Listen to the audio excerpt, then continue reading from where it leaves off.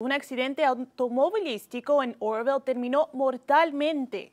Un hombre murió tras ser atropellado por un vehículo a lo largo de la autopista 70. La colisión sucedió esta mañana antes de las 4 en la rampa de salida por la calle Garden Drive. Cuando la patrulla de carreteras llegó a la escena, encontraron el cuerpo, pero no un auto. Estamos trabajando para descubrir el nombre del hombre que falleció.